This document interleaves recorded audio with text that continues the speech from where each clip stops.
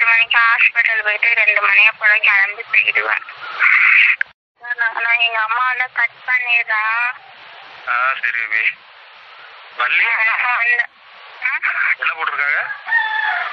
ஒன்னாம் தேதியில இருந்து தள்ளி போட்டு நீ அங்கே போய் நீ வேலை அதுக்கிட்டு எப்படி நீ மாசமா இருக்கும்போது நீ பாத்துக்குவ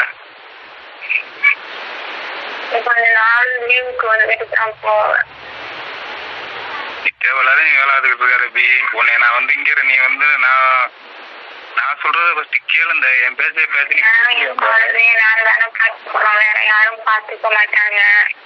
வேற யாரும் பாத்துக்க எனக்கு வந்து என் குழந்தை இது பஸ் வந்து ரெண்டாம் தேதியில இருந்து மாவட்டத்துக்குள்ள ஓடும். எப்படின்னா இப்போ உங்க ஊர் வந்து கும்பகோணம் மாவட்டமா? தஞ்சாவூர் மாவட்டமா. தஞ்சாவூர் மாவட்டம்னா தஞ்சாவூரோட அப்படியே இங்கிட்டு உங்க ஊர் சைடு தான் ஓடும்.